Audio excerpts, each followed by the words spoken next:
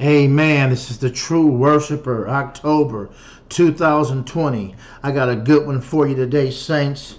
We're going to be talking about the Lord's Prayer. I would like to explain the Lord's Prayer to you and help um, a lot of you who don't understand this prayer to understand it.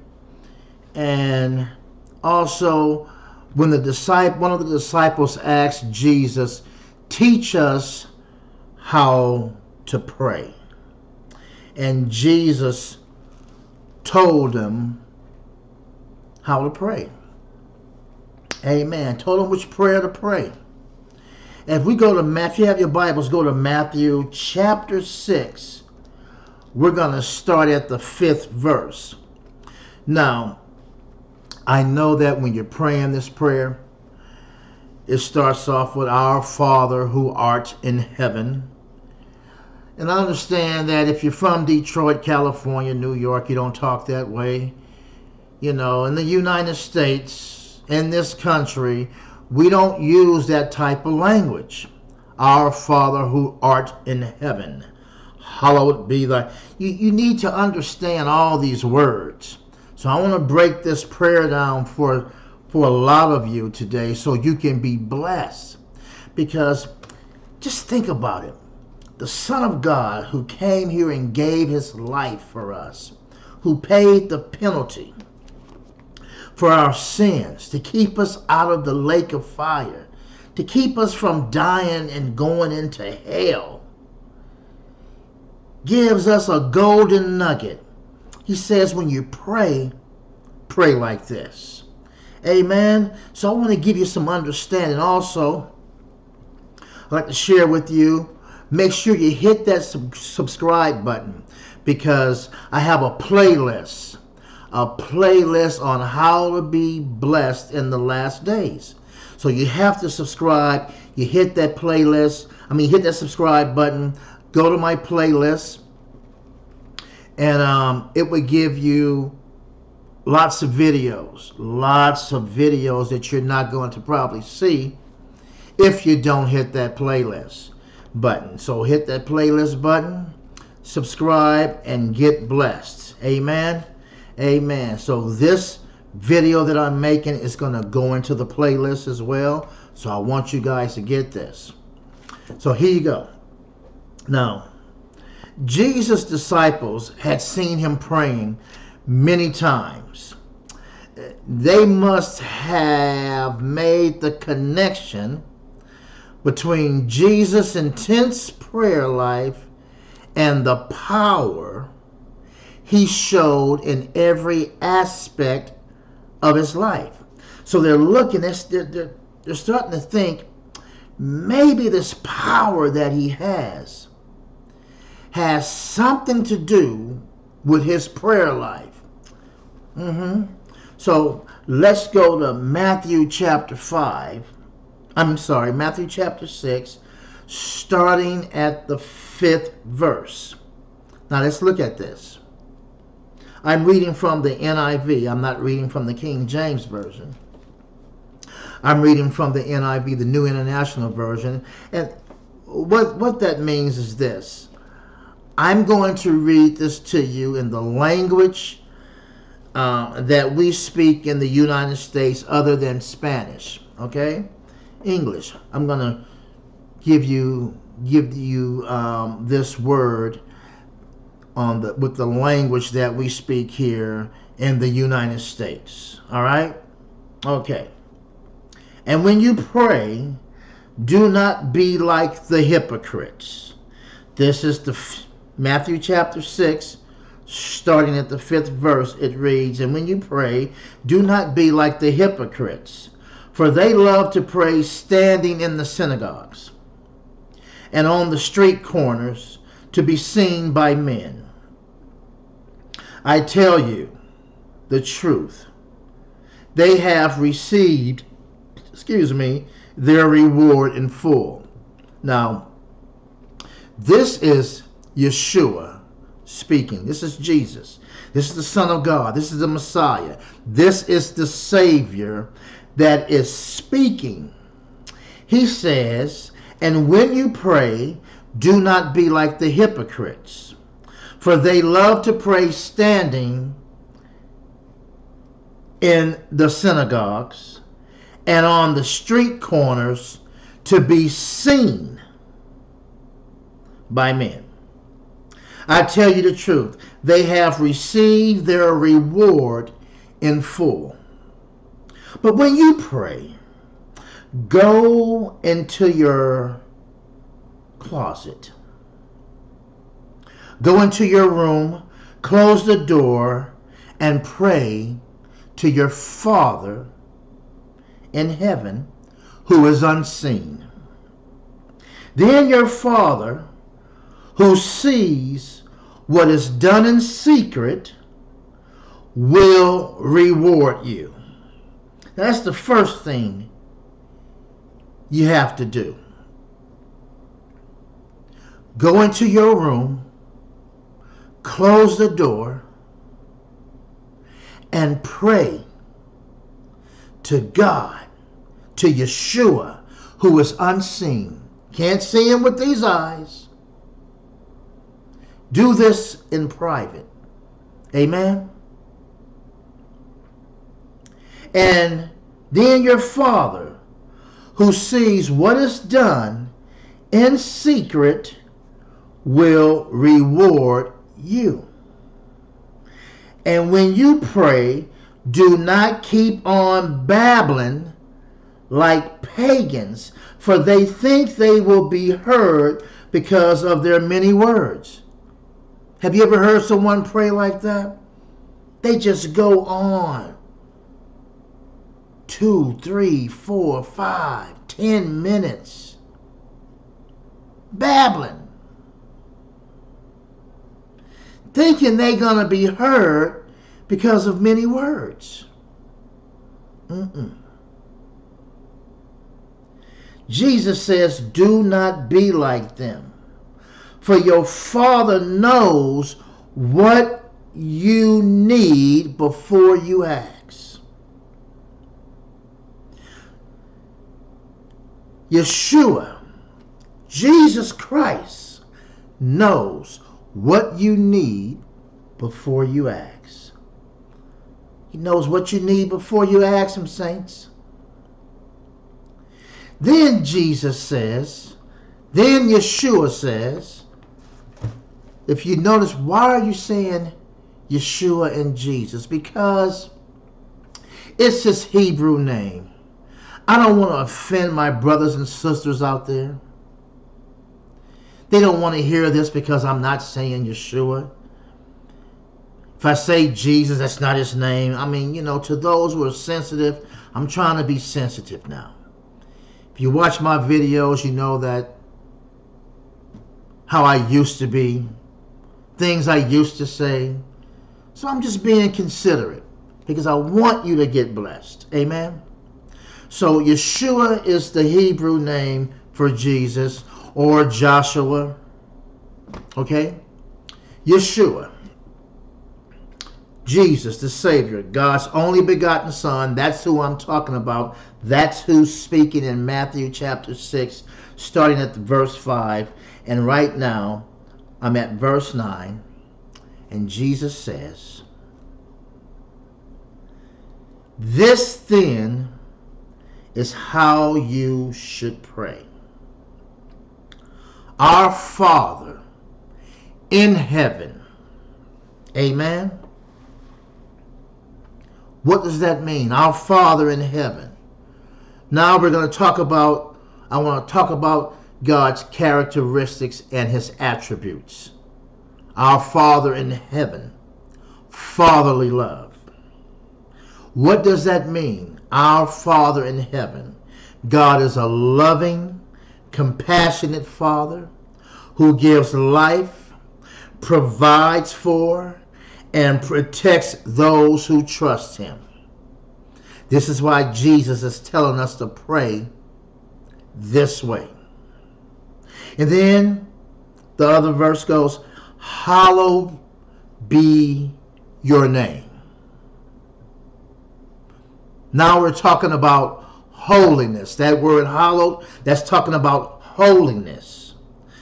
To hallow means to make holy. To hallow God's name means to honor it as holy and sacred. Okay, let's go to the next verse. Your kingdom come. We're talking about sovereignty. God has supreme power and authority over everything in heaven and earth. So we're saying, Our Father in heaven, hallowed be thy name. Hallowed be your name. Your kingdom come. Your will be done on earth as it is in heaven. What does that verse mean? We're talking about the authority of God. God's perfect will is always being done in heaven. His perfect will is always being done in heaven. But on earth, human free will results in evil. We use our free will, but the outcome is usually evil. We ask that God's will would take the place on earth. That God's will would take place on earth instead of our will. Let's go to the next verse. Give us today our daily bread. Amen. What's the meaning for that? What's the meaning of that verse? Give us today our daily bread. God is able to provide for all our needs. The Greek word for bread represents not just food, but every physical thing we need. So, give us today our daily bread. It's not just talking about food, it's talking about physical things we need as well. So when you're praying this prayer, you're not only asking for God to supply food, but for physical things you need. If you need a home, if you need transportation, if you need a healing, mm, and forgive us our debts as we also have forgiven our debtors. What does this have to do with? Mercy. Where we ask God to forgive the wrong we have done, God will forgive us only as much as we forgive those who have injured us. God is merciful and he expects us to be also. And lead us not into temptation, now we're talking about protection. We pray for protection from all the things that trip us up and undo us. The Holy Spirit gives us strength to withstand temptation. But deliver us from the evil one. Some of us say, and deliver us from evil. Deliver us from the evil one. What does this verse has to do with? Have to do with deliverance. God's deliverance from enemies is a legitimate concern that we all should have. We can be confident in our prayers for deliverance because we are more than conquerors through Christ Jesus, through Yeshua. Amen. So when you're praying this prayer, Our Father in heaven, hallowed be your name. Your kingdom come. Your will be done on earth as it is in heaven. Give us today our daily bread, and forgive us our debts. Some, some, the same prayer if you're reading in the King James Version, Forgive us our trespasses, as we forgive those who trespass against us. Lead us not into temptation, but deliver us from evil. For you are the kingdom and the power and the glory forever. Amen. I just wanted to share that prayer with you because prayer is important. And what makes this prayer so important is that Jesus told us to pray this way. I tell you, practice this prayer. Our Father in heaven is talking about God is a loving and compassionate Father to those who trust Him. Hallowed be your name. Has to do with God's name being holy. Hallow means to make holy. God's hallowed be thy name means to honor God's name. God's name means to honor it as holy and sacred. That's right. Your kingdom come. God has supreme power and authority over everything in heaven and earth. So so you see when you're praying this prayer, I want you to visualize the understanding that you're and knowledge that you're receiving right now when you get on your knees and pray. When you're praying this prayer, that Jesus says, when you pray, pray this way.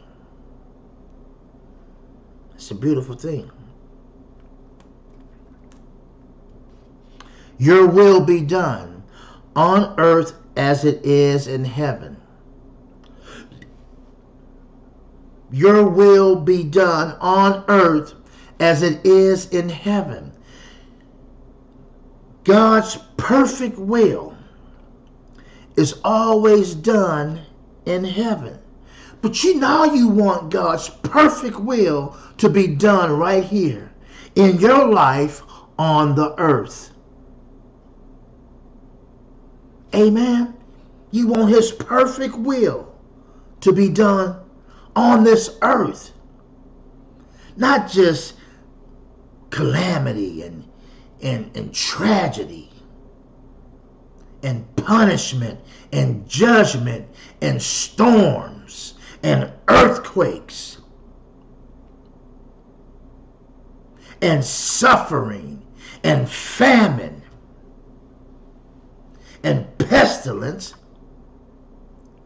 You don't want to just sit here and suffer that all the time, year after year, month after month. You could pray the Lord's Prayer and ask God's perfect will that is done in heaven to be done right here on the earth where you're standing.